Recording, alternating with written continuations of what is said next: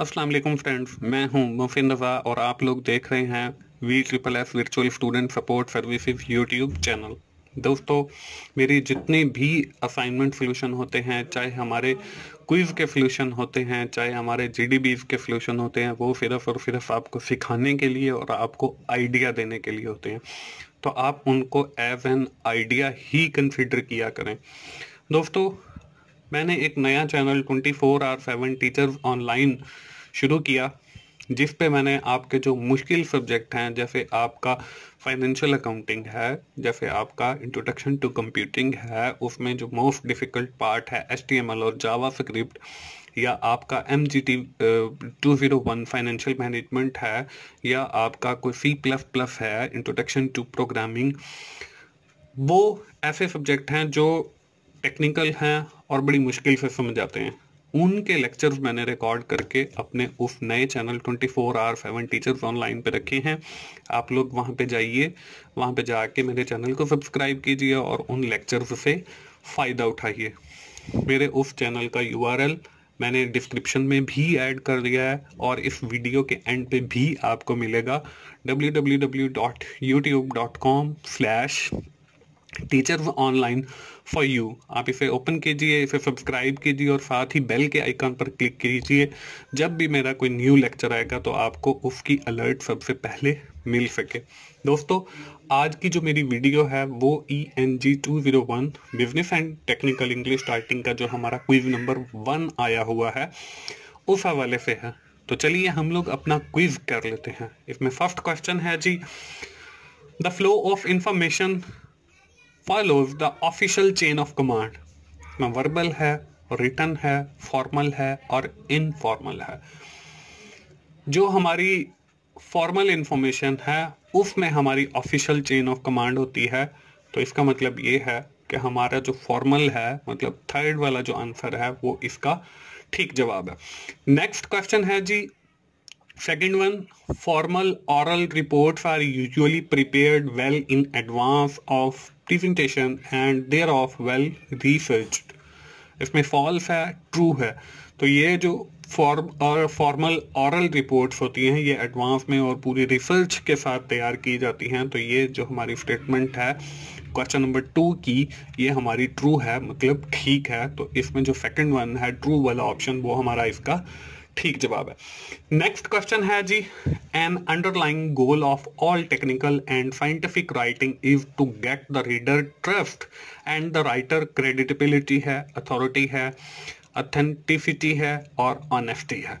When we are getting the reader trust, in this we have, we want to get the writer creditability मतलब इसमें जो हमारा first one है creditability वो बिल्कुल ठीक जवाब है।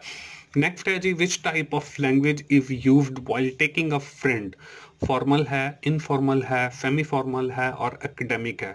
When we are talking with our friends, then we are using the informal language कि कोई मतलब उसमें जो फॉर्मल वर्ड्स हैं, उनका इस्तेमाल नहीं होता। हम इनफॉर्मल बगैर किसी तकल्लफ के जिसे कहते हैं बोलते चले जाते हैं तो इसमें सेकंड वन जो है, हमारा इसका ठीक जवाब है। नेक्स्ट क्वेश्चन है।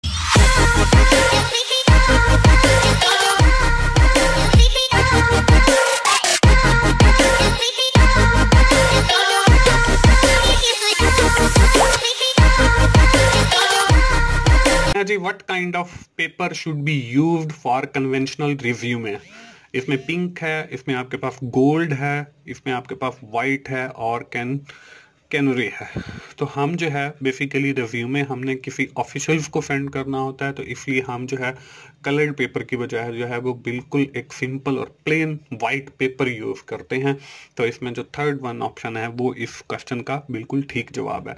नेक्स्ट क्वेश्चन है जी fill in the blanks possesses extensive knowledge about the field in general but might be unfamiliar with the particular technical terms or specific equipment related to your subject matter इसमें आपके पास specific expert है general expert है subject specialist and none of the given option है तो हमारे पास जो general expert है वो ऐसा होता है जिसके पास एक्सटेंसिव नॉलेज होता है तो सेकंड वन जो है वो हमारा इस क्वेश्चन का ठीक जवाब है नेक्स्ट है जी seventh Procedure and work plans are the section of inquiry letter, proposal, job application letter and resume. तो हमारा जो वर्क प्लान है और प्रोसीजर है वो हम किसी एक प्रोजेक्ट के लिए दे रहे होते हैं तो इसलिए हमारा जो जवाब है वो प्रपोजल आएगा और इसमें जो प्रपोजल है वो सेकंड नंबर पे लिखा हुआ है तो second one is the correct answer of this question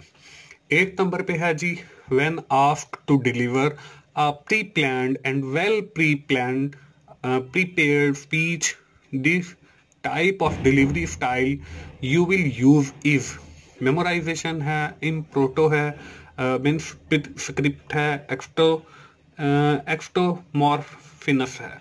तो इसमें जो हमारा फ़र्स्ट वन है मेमोराइजेशन वो इसका ठीक जवाब है। मैंने इसका मेमोराइजेशन लगाया तो आप भी एक बार इसे कंफर्म कर लीजिए, क्योंकि जब मैं ये कर रहा था तो मुझे ये डाउटफुल लगा, लेकिन मेरे हिसाब से ये बिल्कुल इसका ठीक है। नाइन्थ नंबर पे है जी informal oral reports are generally characterize by filling the blanks setting with filling the blanks degree of audience interaction इसमें लार्ज ग्रुप है और हाई है स्मॉल ग्रुप है और लो है। इसमें स्मॉल ग्रुप है और हाई है और लार्ज लार्ज ग्रुप और लो है।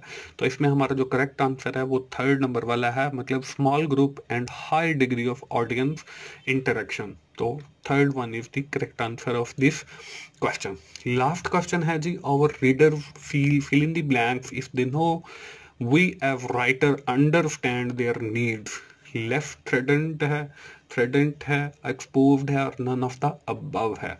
तो इसमें जो फ़र्स्ट वाला है लेफ़्ट थ्रेडेंट तो ये हमारा इस सवाल का ठीक जवाब है। तो दोस्तों, ये था हमारा कोई E N G two zero one business in technical English का। मुझे उम्मीद है आप लोगों को आइडिया हो गया होगा कि किस टाइप के क्वेश्चन आ रहे हैं। दोस्तों, जैसे मैंने आपको शुरू में बताया कि आप www.youtube.com स्लैश टीचर ऑनलाइन पे जाइए। वहाँ पे मेरे आपको डिफरेंट सब्जेक्ट्स के लेक्चर अवेलेबल हैं, जिसमें C S one zero one है M G T one zero one है C F two zero one है M G T two zero one है एच टी एम एल है और बहुत सारे लेक्चर्स अवेलेबल हैं। आप उस चैनल को सब्सक्राइब कीजिए और साथ ही बेल के आइकन पर क्लिक कीजिए ताकि जब भी मेरा कोई न्यू लेक्चर आए तो वो आप लोगों तक सबसे पहले पहुँच सके। दोस्तों, मिलते हैं अगली किसी असाइनमेंट या क्विज के सोल्यूशन के साथ उस वक्त तक के लिए इजाज़त दीजिए। थैंक यू वेरी मच दोस्तों। अल्लाह हाफिज़।